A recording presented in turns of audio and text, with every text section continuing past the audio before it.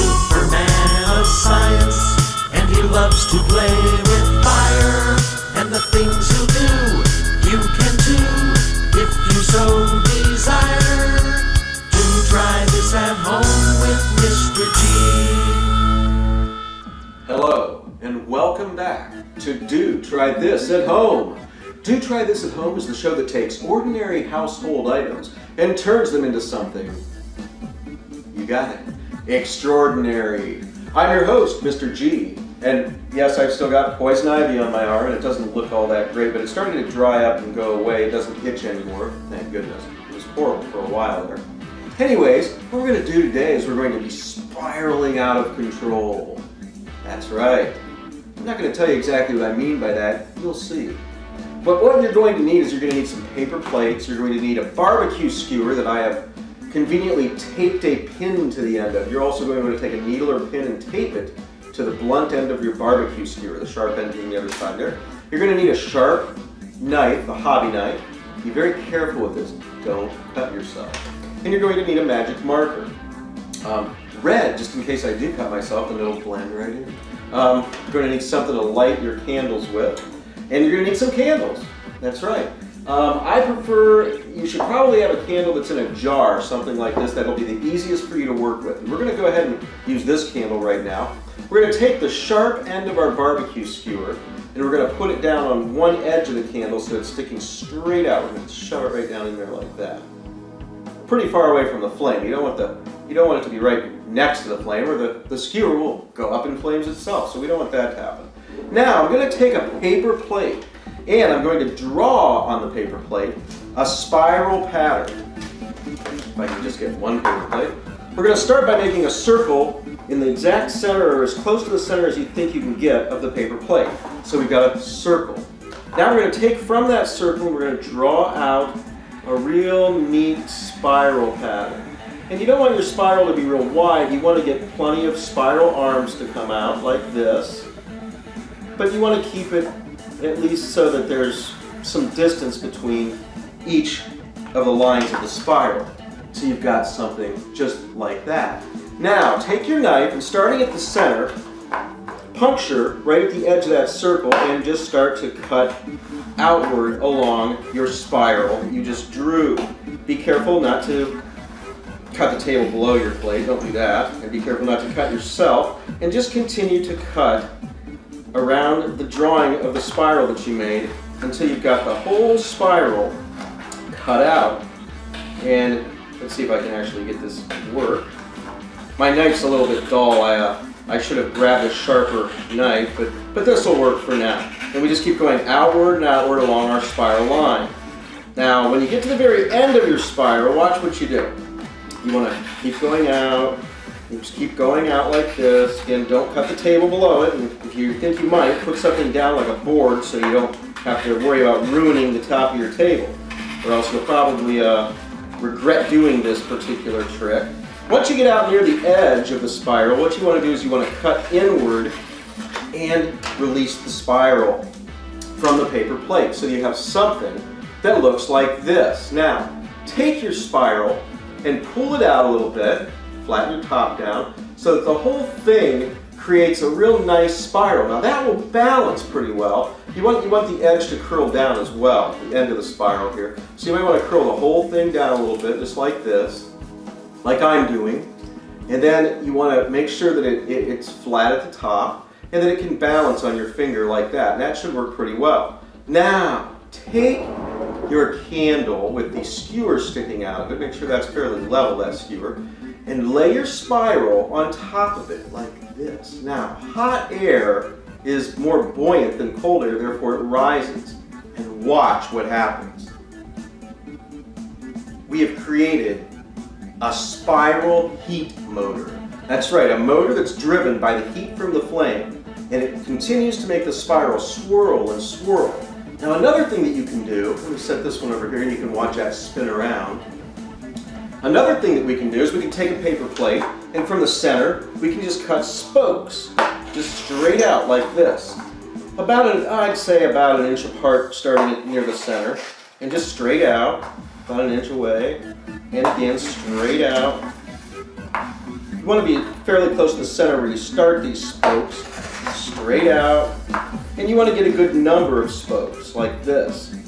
Now, that higher rising is going up through that spiral and causing it to spin. But there's another way to get some object to spin on top of it. Much like an airplane propeller works, this will work as well. Now you want to get it so you've got those spokes cut out like that. I don't know if you can see those or not, I hope so. And then along the edge we want to cut each of these about halfway across to the next spoke, like you see me trying to do here with my doll hobby knife. Yeah, that worked pretty well. Now you're going to take those and you're going to pop those up like this. And what you're going to end up with when you bend those each up is a real nice looking sort of paper plate propeller. That's right. And it's kind of cool looking here. You want to make sure those are all about the same size and the same spacing. So it looks something like that when you're finished. See that? Now, let's take our little spiral off of there. And let's move our candle back in front of us and watch the magic begin. If we can get it to where it balances in the center. This one's a little harder, a little tougher to get to balance. Watch. Now this one will not spin as quickly as the spiral spins, but look at this. Because we've got our fins cut at the top and the hot air is rising through the fins, it is pushing the plate around and around. Now I've got some other shapes that I made earlier here on this chair next to me. And I'm going to show you some of these. And you can see that our paper plate with the cutouts on top spins around and around just like our spiral. Although maybe it doesn't quite spin as fast. It may start to pick up speed and start to spin faster as it progresses. Now, I've got some other spirals here that I cut out earlier that are all tangled up together, of course. Go. You don't have to have such a long spiral. You can have thicker arms like this one, and this one should work.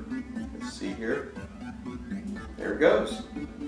So I've got a short spiral with thicker arms. In fact, that's spinning rather well. It's rather, spinning rather quickly, as you can see.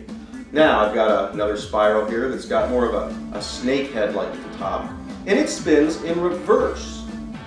Here I've got a real long one that I made that's like a snake get the other one off of it. This one's got more spiral arms. Let's see how it works. Get creative. Try different shapes. Try different lengths of spiral. This one's kind of hard to balance, but once I get it balanced, yes, it starts to spin. And this one's much the same, a longer spiral. Here I've got another plate that I didn't cut very straight, but it does work. So cut out the different shapes and these make awesome holiday decorations, like for uh, Christmas or for, this almost looks like a Christmas tree in fact, or for um, Thanksgiving. Um, so use your imagination. Uh, you can draw a design on it. You, you can do all sorts of things. But the neat thing here is just one candle, the heat from one candle rising up is causing this to, to move. Now if I put more candles around them, like maybe put it in a group of three here, it spins even faster if it stays balanced. Now be careful. Always observe your spinning creation. Don't let it just sit there in the corner and spin off because if it does fall, the paper could catch on fire and we wouldn't want that. That would be a horrible thing. So there we go. With three candles, we get an even faster spin. So there we have it. The heat motor. That's what I'm calling it anyways. And again, different shapes you can make. And this is really cool and a lot of fun. I, I can see I, am going to probably decorate this Thanksgiving or Christmas with like 10 of these things laying around with all different shapes that I'll cut out more precisely and have them look a lot prettier. So have fun with this. And as always, do try this at home.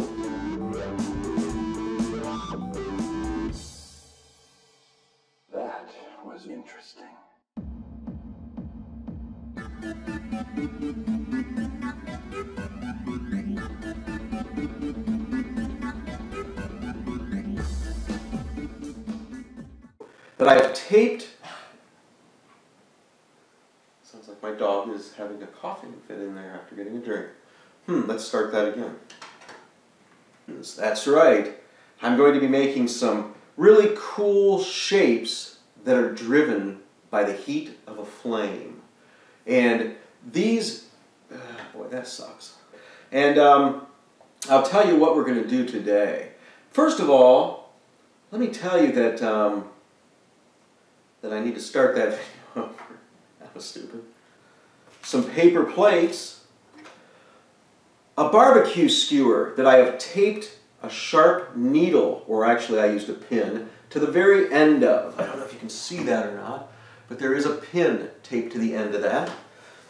We're going to need a magic marker, a sharp knife, so be very careful. Do not cut yourself with the sharp knife. We're also going to need something to light our candles with. This is a torch that I use to light mine. Mine are already lit though, so I guess I really don't need that, but you probably will. And what else are we going to do, what else are we going to need? We're going to need these paper plates, which I think I already said. Let's try this over. Let's, let's, why don't we go over again? Paper plates, this and that. Oh, let's do it again. Over and over.